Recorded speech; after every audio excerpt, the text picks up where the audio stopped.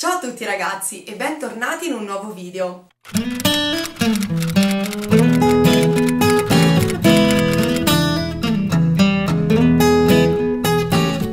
Oggi parliamo di film natalizi perché, diciamo la verità, tutti noi nel periodo natalizio ci mettiamo davanti alla televisione e ci godiamo un bel film ambientato in quello che è il più bel periodo dell'anno. Questo sì, un po' è perché qualsiasi canale televisivo ormai proietta solo film di Natale, però è anche vero che un po' ci piace perché ogni anno finiamo per guardare sempre gli stessi film che ci sanno incantare ed emozionare come fosse la prima volta. Quindi oggi vi parlerò dei 5 film che io e il maritino riguardiamo ogni anno, quest'anno anche insieme alla nostra bambina e che magari insomma possono piacere anche a voi. Ovviamente mi farebbe piacere sapere quali sono i film che voi riguardate ogni anno e che insomma non vi stancano mai. Prima di iniziare vi ricordo di iscrivervi al canale e di attivare la campanella in modo da ricevere una notifica ogni volta che uscirà un mio nuovo video. E se non lo fate già di seguirmi su Instagram, io sono Martina Tazza. Cominciamo! Film numero 1, Elf con Will Farrell e uh, l'attrice che interpreta la protagonista di New Girl della quale non pronuncerò il nome perché non lo so pronunciare. Comunque Will Farrell noi siamo due grandi fan io e mio marito di questo attore ci guardiamo ogni suo film e quindi ogni anno non può mancare Elf la storia di Buddy, un bambino, un orfano che il caso vuole finisca nel sacco di Babbo Natale e quindi Babbo Natale inconsapevolmente lo porta al Polo Nord. Qui, una volta arrivato il primo umano ad arrivare nel laboratorio di Babbo Natale, viene adottato da un elfo e cresciuto insieme agli elfi. Quando però Buddy diventerà grande si renderà conto che poco ha a che fare con questi omini piccoletti che eh, per tutto l'anno lavorano instancabilmente per creare giocattoli per i bambini. In ogni caso cresce amando il Natale con ogni cellula del suo corpo. Una volta diventato adulto scopre di essere stato adottato appunto da papà elfo, come lo chiama lui,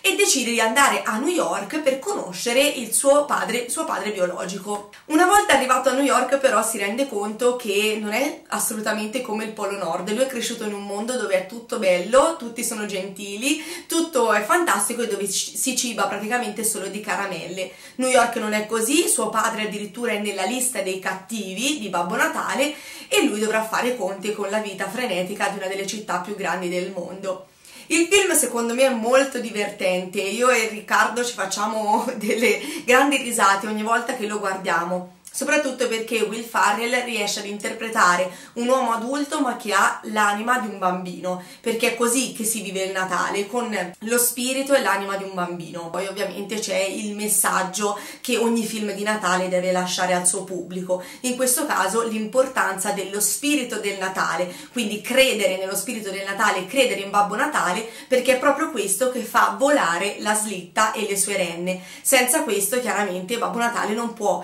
portare i suoi doni nelle case. Il film è del 2003, quindi un po' vecchiotto, ma in realtà secondo me sempre attuale. Film numero 2, Il Grinch. Questo è sicuramente il mio film di Natale preferito in assoluto. Lo riguardo ogni anno, anche se sono da sola, perché non sempre Riccardo ha voglia di guardare il Grinch, mentre a me piace tantissimo. È stato fatto recentemente anche la versione animata, però io continuo a preferire il film. Il Grinch è stato diretto da Ron Howard ed ha come protagonista Jim Carrey in una versione verde e pelosa. La storia del Grinch la conosciamo tutti. Eh, questo esserino verde che il vento ha trasportato per sbaglio nella città di chi non so e che viene accudito da due sorelle, due zie, non ricordo di preciso, comunque da due signore che eh, lo crescono nello spirito del Natale perché la città di chi non so vive aspettando il Natale. Il Natale è il periodo più atteso dell'anno,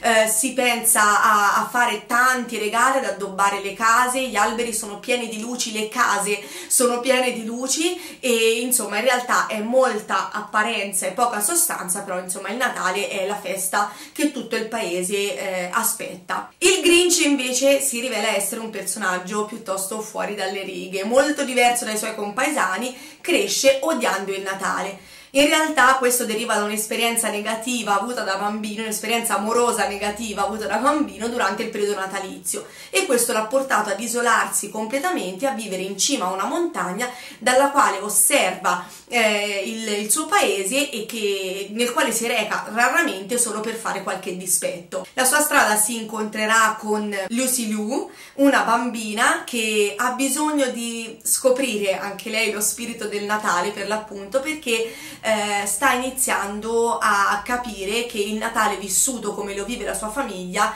in realtà non è proprio il modo giusto. Per realizzare questo film Ron Howard ha realizzato oltre 600 effetti visivi, considerando che il film ha ormai 20 anni perché è del 2000. Inoltre i peli del Grinch sono stati attaccati sul costume di Jim Carrey uno per uno per rendere questo effetto eh, peloso, morbidoso e insomma così particolare caratteristico del Grinch. Inoltre sono stati utilizzati anche degli attori, dei ballerini del Cirque du Soleil che hanno fatto poi le comparse nel film. Io, come ho detto all'inizio, questo è assolutamente il mio film preferito in assoluto, mi commuovo sempre quando arrivo alla fine, quando Lucy Liu canta la sua canzone, eh, perché come sempre alla fine siamo tutti più buoni a Natale e guardare qualcosa che ci, ci lascia un messaggio così bello, secondo me non può che far bene all'anima. Film numero 3, un Natale in affitto. Questo è un film del 2004 con Ben Affleck. Allora, l'attore principale, quindi il protagonista, eh, semplicemente ha bisogno di riscoprire un po' la sua infanzia, o meglio, il periodo del Natale eh, che viveva con la sua famiglia. Visto che eh, si è lasciato con la fidanzata, insomma, vive una vita abbastanza arida, decide di tornare nella casa, nella sua casa d'infanzia, che però è stata presa, acquistata da una un'altra famiglia che quindi vive all'interno della casa. Lui quindi decide di pagare questa famiglia eh, perché finga di essere la sua famiglia, quindi abbiamo una madre e un padre che devono fingere di essere i suoi genitori e eh, anche un figlio e una figlia che dovranno fingere di essere il fratello e la sorella di Ben Affleck. Lui cerca, addirittura scrive dei copioni che devono leggere i vari personaggi perché vorrebbe proprio rivivere esattamente la sua infanzia e riscoprire un po' la bellezza di, di, di dicembre e del periodo natalizio quando si è bambini, quindi andare a giocare sulla neve, fare l'albero tutti insieme, eh, decorarlo, cantare, insomma vivere proprio il Natale più tradizionale. Cosa succede? Succede che la sorella, la sua finta sorella, quindi la, la figlia di questa nuova famiglia che vive nella casa, in realtà non è assolutamente d'accordo, lo considera un pazzo e i due si scontrano spesso, anche se abbastanza, abbastanza scontato, tra i due poi in realtà nascerà una certa simpatia. Questo film a noi ci fa ridere, ci fa ridere tanto, però la cosa divertente di questo è che il film in realtà è stato anche candidato come peggior film, peggiore sceneggiatura e peggior attore protagonista, quindi in realtà è stato un flop, però viene riproiettato ogni anno, noi lo troviamo sempre su Sky e lo riguardiamo sempre perché ci fa ridere il modo in cui Ben Affleck cerca di convincere una famiglia burbera e assolutamente non intenzionata ad assecondarlo eh, di diventare la classica famiglia tradizionale natalizia. Film numero 4, Fuga dal Natale. Anche questo è un film del 2004. Praticamente sembra che i primi anni 2000 abbiano prodotto un sacco di film natalizi che poi insomma sono rientrati nella nostra classifica. In questo caso abbiamo eh, due genitori che eh, per la prima volta eh, si trovano a passare il Natale da soli senza la figlia. Fanno una riflessione e pensano a quanti soldi loro ogni anno spendono per rendere il Natale il più tradizionale possibile, quindi albero, luci, regali, inviti a cena, eh, amici, insomma diventa eh, una festa molto dispendiosa. Visto che questo è il primo anno senza la loro figlia ed era per lei che in realtà facevano tutte queste cose, decidono di eh, risparmiare tutti i soldi che avrebbero speso nel Natale e dedicarli ad una bella vacanza, una vacanza al mare, al sole, insomma la vacanza dei loro sogni. In realtà non hanno fatto i conti con i vicini di casa, il quartiere si è sempre impegnato tanto per diventare il più natalizio possibile, quindi eh, renne sul tetto, frosti nel giardino, eh, eh non so, alberi di Natale giganteschi, luci, inviti a cena, pranzi, insomma insomma eh, loro si impegnano tanto e non sopportano vedere una casa, l'unica casa eh, rimasta al buio, spenta e senza nessun tipo di, di addobbo. Quindi la parte divertente è proprio questa, queste due persone che si trovano a litigare con tutto il quartiere perché eh, nessuno può accettare che il Natale venga eliminato, che appunto loro scappino dal Natale. Il film è carino, è divertente, come sempre noi guardiamo dei film che siano leggeri, che ci facciano sorridere e che alla fine ci lasciano sempre eh, con, un, con un sorriso o comunque con un messaggio positivo e anche in questo caso ovviamente c'è perché non si tratta anche qui solo di apparenza, di luci, di inviti a cena, ma si tratta di capire qual è il vero spirito del Natale e come viverlo al meglio. Anche questo film, per non farci mancare niente, è stato candidato come peggior film, però è anche vero che ha vinto dei premi o comunque delle candidature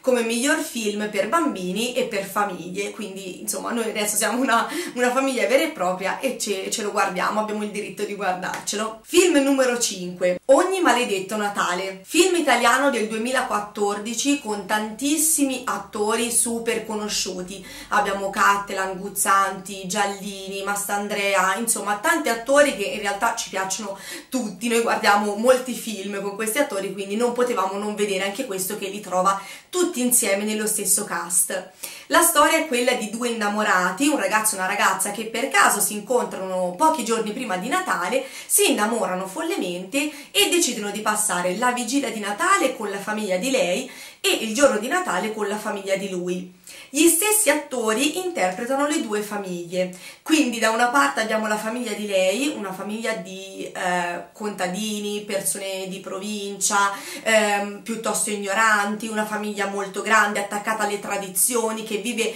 in, un, eh, in una casa isolata in mezzo alla campagna dove non c'è neppure linea sul cellulare dall'altra invece la famiglia di lui che è invece una famiglia altolocata, eh, grandi imprenditori che ogni anno a Natale fanno grandi offerte a questa Caritam, comunque ad associazioni che si occupano dei poveri e che anzi ogni anno si concentrano molto sui profitti dell'azienda per decidere poi come muovere i loro investimenti nell'anno successivo. Quindi due famiglie veramente opposte è interessantissimo vedere come gli stessi attori interpretano due ruoli così diversi. Quindi è comica questa parte perché comunque gli attori ci fanno ridere, hanno dei, dei comportamenti simpatici, però ci fa anche riflettere su eh, come viene affrontato o può essere affrontato il Natale, in, guardando soltanto ai soldi oppure guardando alle tradizioni, alla famiglia, ma magari senza approfondire mai veramente il rapporto che c'è tra le persone. Il film so che ha ricevuto delle recensioni contrastanti, a qualcuno è piaciuto, a qualcuno no. Noi lo riguardiamo ogni anno perché ci piace molto, ci piacciono gli attori, come ho detto, ma ci piacciono anche le situazioni, perché soprattutto nella famiglia di campagna ci ritroviamo molto, perché alla fine è un po' così che anche noi lo viviamo il Natale, sempre facendo le stesse cose ogni anno con tutta la famiglia e insomma ci, ci, ci ritroviamo un po' e poi le situazioni sono esilaranti, attori bravissimi, quindi insomma lo guardiamo sempre volentieri. Bene ragazzi, il video finisce qui, questi sono i 5 film che io e Riccardo e adesso anche Katia guardiamo ogni anno durante il periodo natalizio. Fatemi sapere quali sono i vostri perché sono sicura che qualcuno di voi riguarda ogni anno, almeno una volta all'anno, mamma ho perso l'aereo, che invece a noi manca, non lo guardiamo tutti gli anni. Quindi niente, vi aspetto nei commenti e noi ci vediamo prestissimo in un altro video. Ciao!